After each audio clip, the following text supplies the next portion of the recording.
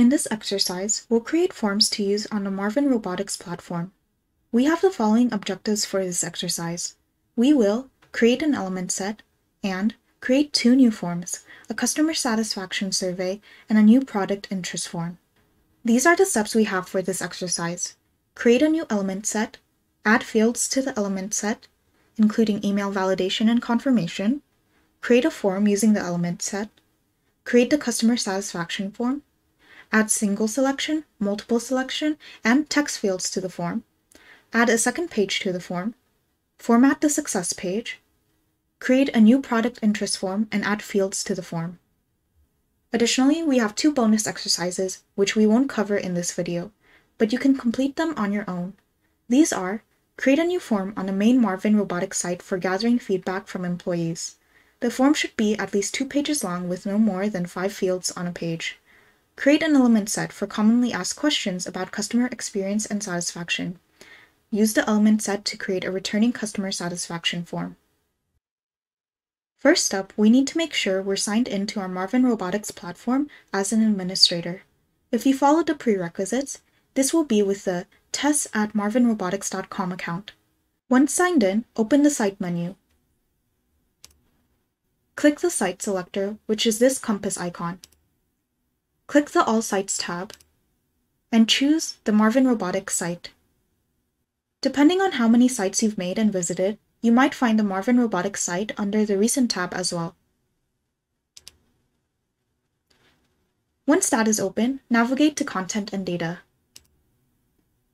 Then Forms in the Site Administration panel. Click the Element Sets tab. Then click the Add icon near the top right of the page. Click the Untitled Form field to edit the title, and type Webinar RSVPs as the title. Type RSVP for the upcoming Marvin Robotics webinar as the description. Next, we'll add text fields to the element set. Open the Builder sidebar if it is not already open, and drag a text field onto the page. Type first name under label. Then click the required field toggle. Click the back arrow to return to the Builder menu. Drag another text field onto the page below first name. Type last name under the label and click the required field toggle. Click back. Drag one more text field onto the page below last name. Type Department as the label. Then click back. We also need to add validation and confirmation field elements to make sure that users enter a correct and valid email address. Start by dragging a text field onto the page below the department field. Type Email as the label and click the required field toggle. Next, click the Advanced tab at the top next to Basic. Click the required confirmation toggle. Scroll down and type, the emails do not match as the error message. Below that, click the validation toggle. Scroll down and choose is an email from the dropdown of accept if input. Type Please enter a valid email address as the error message, and click Save at the bottom. Then click the back arrow at the top next to New Element Set to leave the editor. Now that we've created an element set, we'll draft a form using that element set. Click the Forms tab next to Element Sets. We don't have any forms yet, so to add one, click either the Add button at the top right, or New Form button here at the center. Type New Webinar as a title. Click the Element Sets tab in the Builder sidebar. You may need to open it using the button. Drag the Webinar RSVPs element set onto the form page. Click the Preview button at the top, which should open the form in a new tab. Viewing this tab, we can check on all of our fields to see the required fields, validation, and confirmation we established in the element set. For instance, skipping a required field turns it red. And if I type in an incomplete email address and neglect to add the confirmation, we'll get our error messages. Once we've checked all of the fields, we can close the tab. For now, we'll simply click Save to save the form as a draft.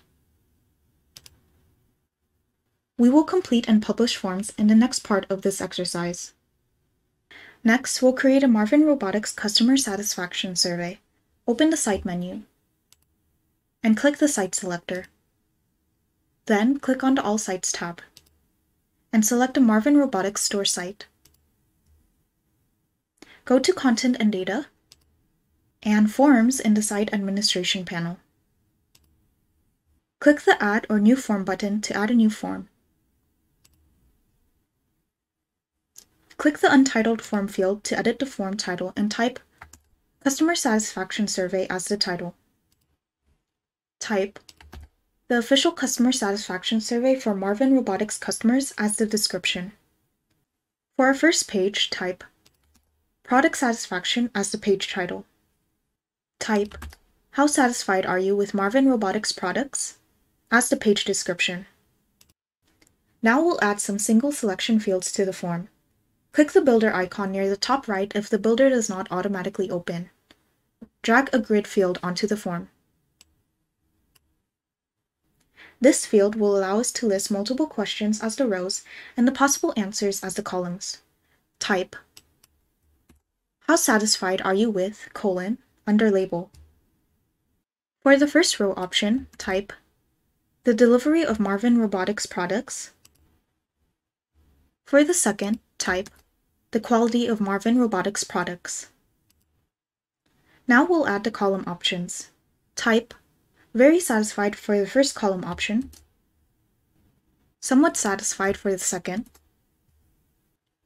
neutral for the third, somewhat dissatisfied for the fourth,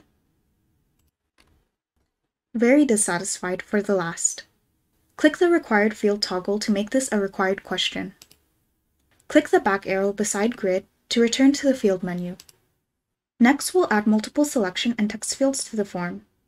Drag a multiple selection field onto the form. For the label, type Which Marvin Robotics products would you purchase again?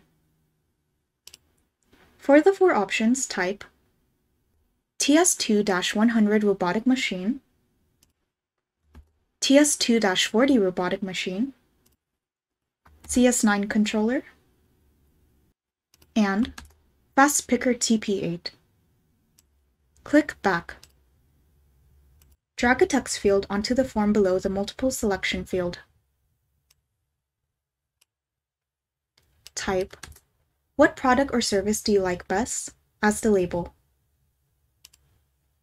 Select multiple lines so that customers can leave longer answers. Then click Back. Drag another text field onto the form. Type what product or service could be improved as the label and select multiple lines again. Click Back. Now we'll add a second page for customer service satisfaction questions. Scroll down and click New Page below the product satisfaction page. Type customer service satisfaction as the page title, and type how is our customer service team doing as the page description. Drag a single selection field onto the form. Type how do you rate our customer communication as the label. We'll add four options. Excellent as the first option, good as the second, neutral as the third, and needs improvement as the fourth. Click the required field toggle, then click back. Drag a text field onto the form, then type, how can we better serve you as the label? Select multiple lines. The last thing we need to do is format the success page. Click on Thank You under Success page and replace it with Success! exclamation point. Beneath that, replace the default text with your feedback is valuable to us. Thank you for filling out this survey. Now that we're finished, click the Publish button at the top right. You'll see a success message pop up in the bottom left and we can click the Open Form button to view the complete form. You can also click the Share button, which is unavailable for unpublished forms, to find the survey link and to share it with customers. Once we're done looking over the customer satisfaction survey, close those tabs. Now click the back arrow beside Edit Form to return to our main form page. We'll now add another new form for new product interests. Click the Add icon near the top right, then type New Product Interest into the Untitled Form field. Type Help Marvin Robotics Move Forward as the description. First up, we'll add text fields to the form. Open the builder icon near the top right if it does not automatically open. Drag a text field onto the form. Then type how have Marvin Robotics products met your manufacturing needs as the label? Select multiple lines to allow customers to write more and click the required field toggle. Now click the back arrow by text. Drag another text field onto the form below the first. Type What manufacturing needs are not currently met by Marvin Robotics products as the label. Like before, select multiple lines and click the required field toggle. Click back. We'll add two more fields to our new product interest form. First, drag a multiple selection field onto the form. Type What improvements would you like to see in future Marvin Robotics products as the label? For the six options, type Increased load, increased range of motion, faster movement speed, smaller footprint, lower cost, and other. Click the required field toggle. Now click back. Next, drag a text field onto the form.